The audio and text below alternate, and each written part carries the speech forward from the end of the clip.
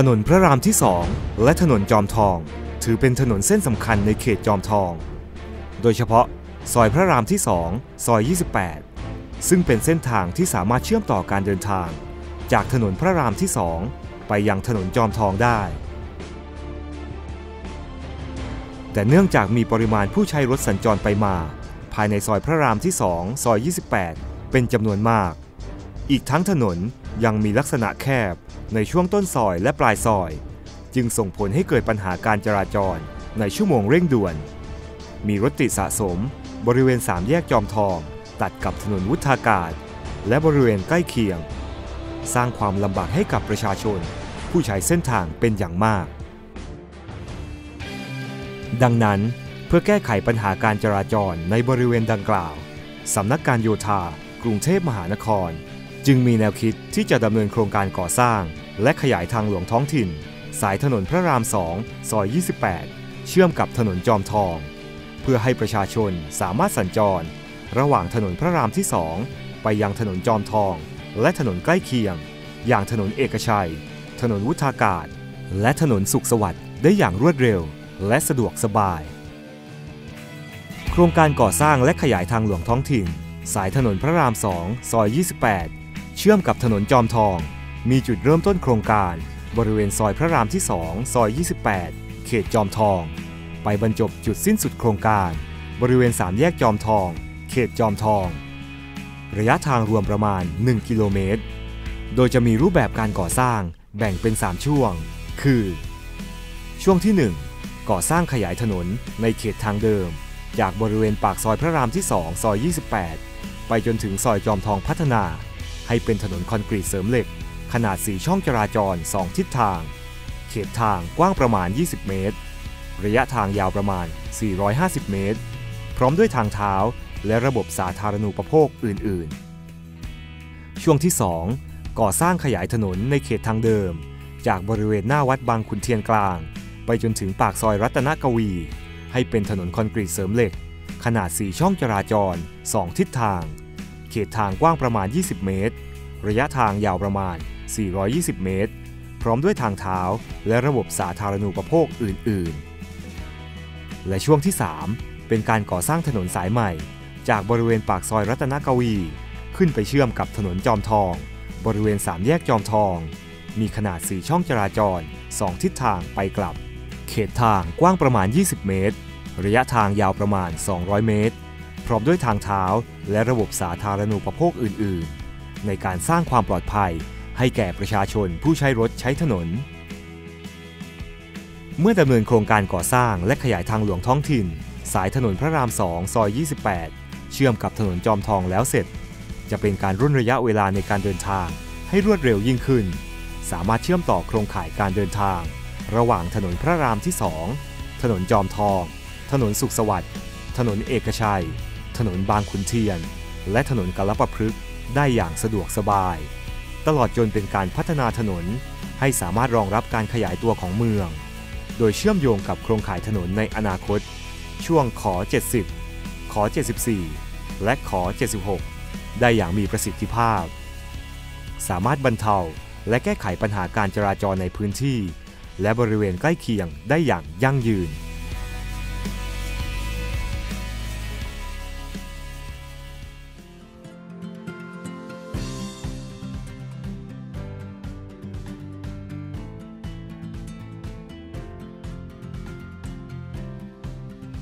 หรือประโยชน์สาธารณะอย่างอื่น ที่อยู่ในความรับผิดชอบ ก็จะดำเนินการจัดหาที่ดิน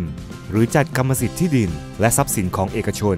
ให้กลับมาเป็นของรัฐ เพื่อดำเนินการตามอำนาจหน้าที่ให้สำเร็จลุล่วงตามวัตถุประสงค์ต่อไป โดยในการจัดหาที่ดิน หรือจัดกรรมสิทธิ์ที่ดินและทรัพย์สิน จะดำเนินการได้ 2 วิธี คือ 1. การจัดซื้อที่ดินตามมติคณะรัฐมนตรี เมื่อวันที่ 10 ตุลาคม พุทธศักราช 2500 หรือเรียกว่า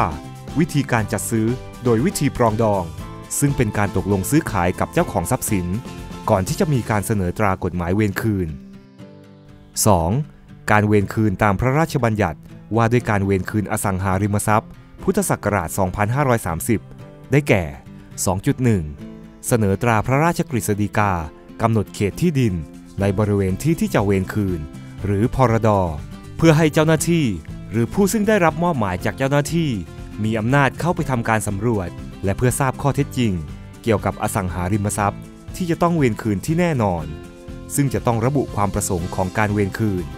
เจ้าหน้าที่เวรคืนกำหนดเขตที่ดิน ในบริเวณที่ที่จะเวรคืน เท่าที่จำเป็น พร้อมแผนที่แนบท้าย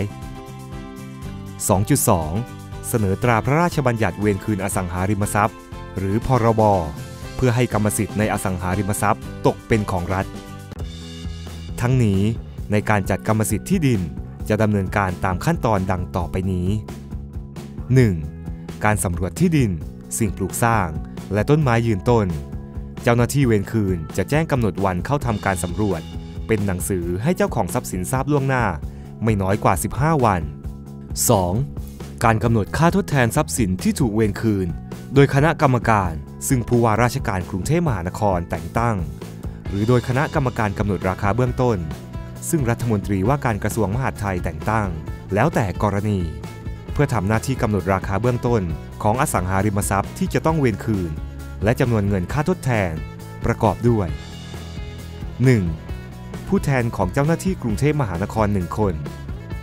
2. ผู้แทนกรมที่ดิน 1 คน 3. ผู้แทนของหน่วยงานอื่นของรัฐ 1 คน 4. ผู้แทนจากภาคประชาชน คือ ผู้แทนสภาท้องถิ่นที่เกี่ยวข้อง อาทิ สมาชิกสภากรุงเทพมหานคร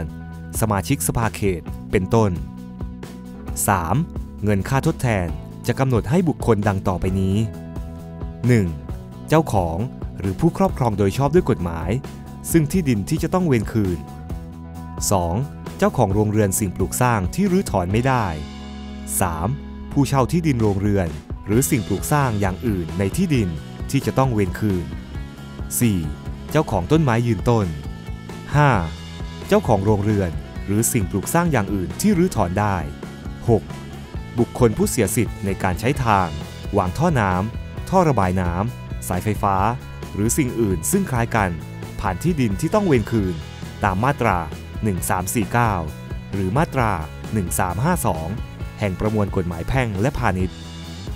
4. การกำหนดค่าทดแทนจะพิจารณาตามหลักเกณฑ์ที่กฎหมายกำหนด โดยคำนึงถึง 1. ราคาที่ซื้อขายกันตามปกติในท้องตลาดของอสังหาริมทรัพย์ ในวันที่ใช้บังคับพระราชกฤษฎีกา 2. ราคาของอสังหาริมทรัพย์ ที่มีการตีราคาไว้ เพื่อประโยชน์แก่การเสียภาษีบำรุงท้องที่ 3. ราคาประเมินทุนทรัพย์ เพื่อเรียกเก็บค่าธรรมเนียม ในการจดทะเบียนสิทธิ์และนิติกรรม 4. สภาพและที่ตั้งของอสังหาริมทรัพย์นั้น 5. เหตุและวัตถุประสงค์ของการเวรคืน 6. การได้ประโยชน์และเสียประโยชน์ จากการที่ที่ดินถูกเวรคืน 7. ค่าทดแทนความเสียหายที่ต้องออกจากอสังหาริมทรัพย์ที่ถูกเวรคืน ตามมาตรา 21 วรรค 5 แห่งพระราชบัญญัติว่าด้วยการเวรคืนอสังหาริมทรัพย์ พุทธศักราช 2530 5. ปิดประกาศราคาที่คณะกรรมการกำหนดไว้ โดยเปิดเผยตามสถานที่ดังนี้ 1. ที่ทำการของเจ้าหน้าที่ ได้แก่ศาลาว่าการกรุงเทพมหานคร สำนักงานเขตท้องที่ที่เกี่ยวข้อง 2. สำนักงานที่ดินกรุงเทพมหานคร หรือสำนักงานที่ดินกรุงเทพมหานครสาขาที่เกี่ยวข้อง 6. การจัดทำบันทึกข้อตกลง รือสัญญาซื้อขายกับเจ้าของทรัพย์สิน 7. การจ่ายเงินค่าทดแทน ต้องจ่ายเงินค่าทดแทนทั้งหมด ให้แก่เจ้าของทรัพย์สิน ภายใน 120 วันสำหรับประชาชนผู้ที่ถูกเวรคืน จะมีหน้าที่ตามที่กฎหมายกำหนดไว้ ดังต่อไปนี้ 1. แสดงเอกสารที่เกี่ยวข้อง ได้แก่ บัตรประชาชน ทะเบียนบ้าน ทะเบียนสมรส หลักฐานกรรมสิทธิ์ที่ดิน อาทิ โฉนด นส3นส3กและอื่นๆ ตามที่เจ้าหน้าที่ร้องขอ 2. อนุญาตให้เจ้าหน้าที่เข้าสำรวจทรัพย์สิน และปักหลักแนวเขตทาง 3. นำสำรวจสิ่งปลูกสร้าง ต้นไม้ยืนต้น 4. ให้ถ้อยคำแก่เจ้าหน้าที่ตามความจริง 5. ลงชื่อรับรองการให้ถ้อยคำรับรองแนวเขตที่ดิน รับรองรายละเอียดสิ่งปลูกสร้าง และรับรองต้นไม้ยืนต้น 6. ยื่นคำร้องขอรังวัดที่ดิน ต่อสำนักงานที่ดินกรุงเทพมหานคร สาขาที่ที่ดินตั้งอยู่ ในส่วนค่าใช้จ่ายในการรังวัดแบ่งแยก เจ้าของเป็นผู้สำรองจ่าย และนำหลักฐานมาเบิกคืนจากกรุงเทพมหานคร 7. นำชี้หมุดหลักเขตที่ดิน 8. กรณีตกลงราคาหรือทำสัญญาซื้อขายที่ดิน เจ้าของมีหน้าที่ไปแก้ไขหลักฐานทางทะเบียน หรือจดทะเบียน โดยเจ้าหน้าที่เป็นผู้ประสานงานดำเนินการกับสำนักงานที่ดิน และประชาชนผู้ที่ถูกเวรคืน ยังจะได้รับสิทธิ์ตามที่กฎหมายกำหนดไว้ ดังต่อไปนี้ 1. สิทธิ์ได้รับเงินทดแทนอสังหาริมทรัพย์ที่ถูกเวรคืน 2. ได้รับการยกเว้นภาษีเงินได้บุคคลธรรมดา ในจำนวนเงินค่าทดแทนที่ได้รับ ส่วนนิติบุคคลไม่ได้รับการยกเว้น 3. ได้รับยกเว้นค่าธรรมเนียม และค่าอากรสแตม ในการจดทะเบียนสิทธิ์และนิติกรรม 4. สิ่งปลูกสร้างที่ถูกเวรคืนบางส่วน เจ้าของจะร้องขอให้พิจารณาเวรคืนส่วนที่เหลือ ซึ่งใช้การไม่ได้แล้วด้วยก็ได้ และหากกรุงเทพมหานครไม่เวรคืนตามที่ร้องขอ เจ้าของมีสิทธิ์ร้องขออุทธรณ์ต่อรัฐมนตรีว่าการกระทรวงมหาดไทย ภายใน 60 วัน นับแต่วันที่ได้รับหนังสือแจ้งผลการพิจารณา 5. ที่ดินที่ถูกเวรคืนบางส่วน ถ้าส่วนที่เหลือน้อยกว่า 25 ตารางวา หรือด้านหนึ่งด้านใด น้อยกว่า 5 วา และที่ดินส่วนที่เหลือนั้นมีได้ติดต่อเป็นพื้นเดียวกัน กับที่ดินแปลงอื่นของเจ้าของเดียวกัน เจ้าของร้องขอให้เวรคืน หรือจัดซื้อที่ดินส่วนที่เหลือได้ 6. หากไม่พอใจในราคา หรือจำนวนเงินค่าทดแทน ที่คณะกรรมการกำหนด สามารถรับเงินไปก่อน แล้วยื่นอุทธรณ์ต่อรัฐมนตรีว่าการกระทรวงมหาดไทย ภายใน 60 วัน นับแต่วันที่ได้รับหนังสือแจ้ง ให้มารับเงินค่าทดแทน 7. มีสิทธิ์ฟ้องคดี แยกได้ 2 กรณี คือ กรณีที่ 1 ภายใน 1 ปี นับแต่วันที่ได้รับแจ้งผลคำวินิจฉัย ของรัฐมนตรีว่าการกระทรวงมหาดไทย แล้วยังไม่พอใจในราคาค่าทดแทน กรณีที่ 2 ภายใน 1 ปี ภายหลังจากยื่นอุทธรณ์ต่อรัฐมนตรีว่าการกระทรวงมหาดไทยพ้น 60 วัน แล้วยังไม่ได้รับแจ้งผลคำวินิจฉัยอุทธรณ์ โดยกรณีตามข้อที่ 2สำหรับการจัดซื้อที่ดินตามมติคณะรัฐมนตรี หรือการจัดซื้อโดยวิธีปรองดอง จะไม่ได้รับการยกเว้นภาษี และกรณีตามข้อที่ 4 และข้อที่ 5 จะต้องแนบเอกสารประกอบ ตามที่ระบุไว้ในคู่มือสำหรับประชาชน ฝ่ายโยธากรุงเทพมหานคร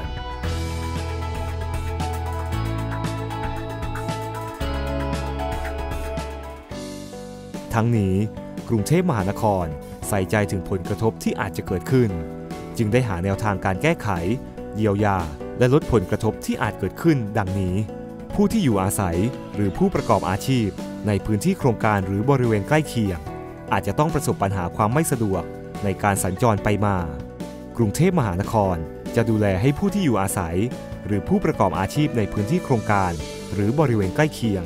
ได้รับความสะดวกสบายในการสัญจรไปมา ผู้ที่อยู่อาศัยหรือผู้ประกอบอาชีพ ในพื้นที่โครงการหรือบริเวณใกล้เคียง อาจจะต้องโยกย้ายที่อยู่อาศัย หรือสถานที่ประกอบอาชีพ หรือรื้อย้ายสิ่งปลูกสร้าง หรืออาจต้องปรับปรุงส่วนที่เหลือ ให้มีความเหมาะสม สอดคล้องกับสภาพที่ดินที่เปลี่ยนแปลงไป รวมทั้งอาจต้องเปลี่ยนแปลงสถานที่อยู่อาศัย หรือการประกอบอาชีพ และวิถีชีวิตเนื่องจากการเวรคืน กรุงเทพมหานครจะพิจารณาจ่ายค่าทดแทน หรือค่าชดเชยในอัตราที่เหมาะสม เป็นธรรม และได้รับประโยชน์สูงสุด และในระหว่างการดำเนินงาน ย่อมมีผลกระทบต่อความปลอดภัย คุณภาพชีวิต และสิ่งแวดล้อม